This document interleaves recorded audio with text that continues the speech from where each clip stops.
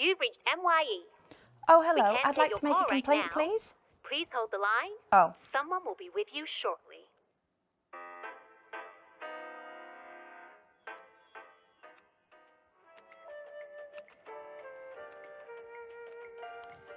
I don't believe this. I've been waiting for almost 10 minutes.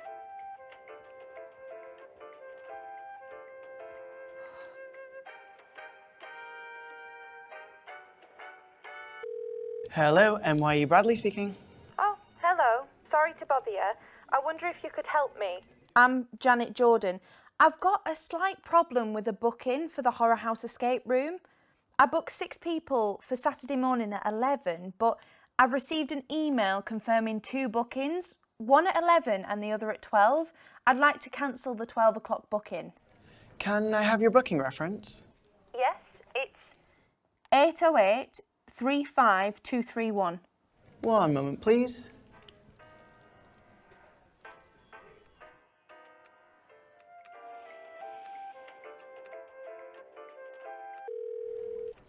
Sorry about that. it's okay. It was only six minutes this time. Yes, well, it was entirely our fault. There was a problem with our website, but we've sorted it out. Perfect. Thanks. You're welcome.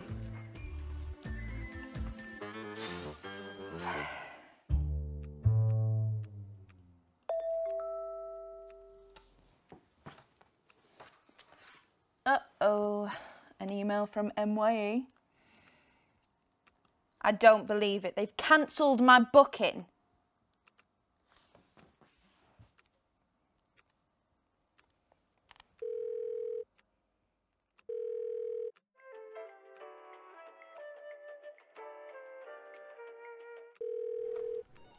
MYE, Emily speaking. Hello, could you put me through to Bradley? Oh, sorry, Bradley's not available. Can I help? Maybe. I, I booked an escape room, but Would you like a refund? what? No, no. I got two bookings by mistake, and now I've been told both bookings have been cancelled. I want one booking for Saturday at. You can make a booking on our website. It's Listen, would you mind making the booking for me?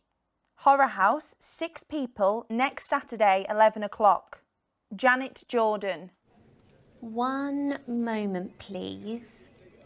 I'll just put you on hold. No! Sorry, I've been put on hold three times already. Janet, I'm afraid we're fully booked at 11 o'clock. I can offer you another time. How about 3 pm? No, it's got to be the morning. Sorry, there's nothing I can do about it. I'm not happy about this. I want to talk to the manager. I am the manager. You're the. Fine, then I'll complain to you. I'm not satisfied with your service. Okay, I'll see what I can do.